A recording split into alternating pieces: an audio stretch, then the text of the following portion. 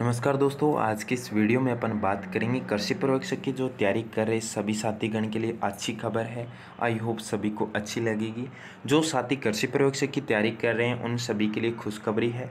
कृषि पर्यवेक्षक बेंच 2011 की कंप्लीट डीपीसी हो रही है। यानी कि जो कृषि पर्यवेक्षक 2011 का बेंच है, उन सभी की कंप्लीट डीपीसी हो रही है। यानी कि लगभग 722 के आसपास कृषि पर्यवेक्षक है, वो डब्ल्यू में प्रमोट हो रहे हैं। कहाँ हो रहे हैं? सहायक कृषि अधिकारी में प्रमोट हो रहे हैं 722 के आसपास। तो दोस्तों, आप सभी को पता है, जब कृषि पर्यवेक्षक से डब्ल्यू में प्रमोट होते हैं तो कृषि पर्यवेक्षक की सीटें हैं, वो खाली होना ही है।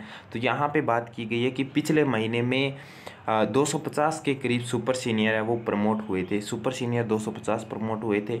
विभाग में कृषि प्रयोगशक पद पर रिक्तियाँ हो रही है। अतः नए साथी तैयारियों में जुट, यानी कि तैयारियों के लिए जुट जाएँ।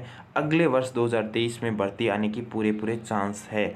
यानी कि अगले वर्ष में यानी कि कृषि पर्यवेक्षक की भर्ती आने के पूरे पूरे चांस है। रामपाल रुंडला जी, कृषि पर्यवेक्षक जोधपुर।